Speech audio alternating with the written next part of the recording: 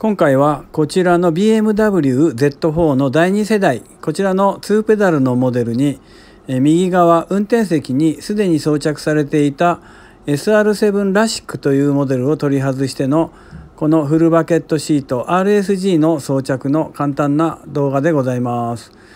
丁寧に作業を行いましてまたシート自身は少し軽めですので作業は少し負担が少なくまたサイドブラケットの複数の穴の位置を変更することによって座面の高さや角度がシンプルに調整できるというメリットもございます。あ、多少片付きあります。あ、全然こっちの方が自然かもしんねえな。高さがだいぶ上がった。どう？こっちから見て全然自然ですよ。で、スライドをしてもらって。あ、ま、真ん中ね。股の間から手入れた方がいいかな。真ん中あたり持ってもらって。うん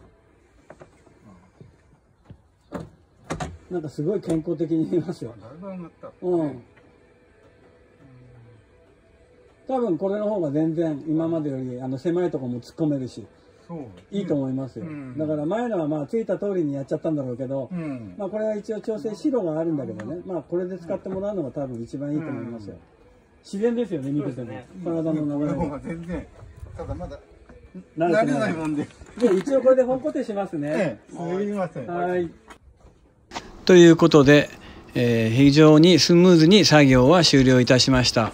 えー、後日、えー、運転席シート、え SR7 ラシックを助手席に、え移設装着をするという業務も承りました。